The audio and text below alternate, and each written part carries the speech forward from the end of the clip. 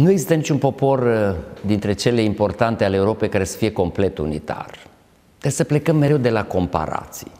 Duceți-vă în Italia și vorbiți cu un toscan și peste 24 de ore vorbiți cu un locuitor al Piemontului sau duceți-vă la un sicilian și vorbiți cu el sau cu un sard sau cu un friulan.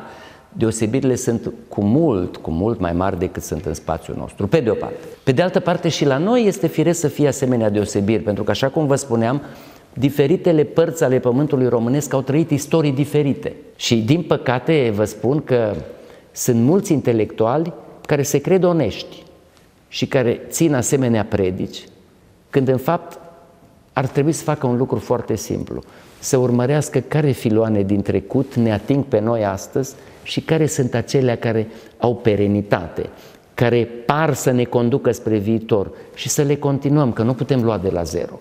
Ne, această moștenire istorică ne definește cu o condiție să nu ne lăsăm copleșiți de ea dar nici să renunțăm cu totul la ea. În acest moment al centenarului, nu centenarul României, cum scrie pe aici pe acolo. România e o realitate veche. Centenarul Unirii, Unirii celei mari, asta e altceva.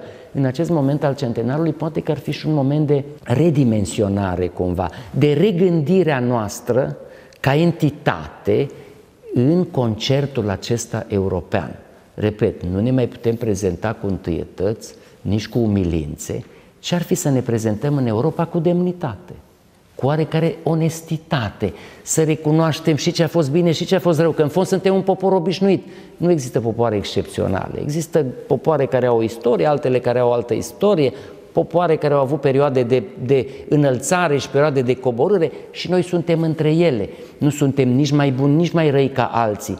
Iar din moment ce existăm, înseamnă că suntem pe lumea asta.